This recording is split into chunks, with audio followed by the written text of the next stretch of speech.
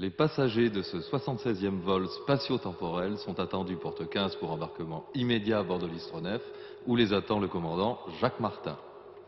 Entrez, mes enfants, dans l'Istronef, l'appareil le plus fiable qui existe au monde pour remonter le cours du temps, puisque vous savez que grâce à l'Istronef, on peut partir de 1982 pour remonter le cours des siècles. Alors, vous avez des casques qui nous permettent de communiquer en vol. Faites comme moi, regardez.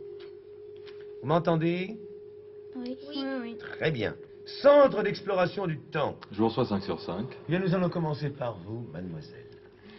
Je Catherine- m'appelle. Je m'appelle Catherine Degnaud, Oui. j'ai 11 ans et demi, je suis en cinquième.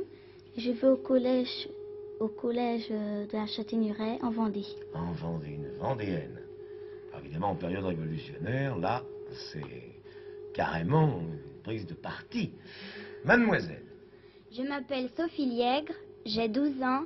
Je vais au collège de la Châtaigneraie en Vendée.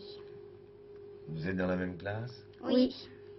Moi, c'est Stéphane Moret. Hein? Je suis aussi en cinquième. J'ai 11 ans. Au CES de Châtaigneraie en Vendée. Dans le même collège?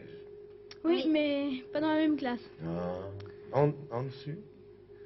Oh non, on change de classe. Ah, euh, On change de classe. ça dépend des cours. Oui, ça dépend de quoi. Et enfin, mademoiselle, la quatrième astronaute.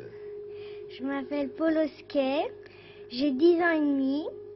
Je vais à l'école de Hérissi, à Fontainebleau. à Fontainebleau, près Paris. Eh bien, euh, je vous rappelle que nous avons quitté Paris la semaine dernière, après la séance solennelle d'ouverture des États généraux, le 5 mai 1789.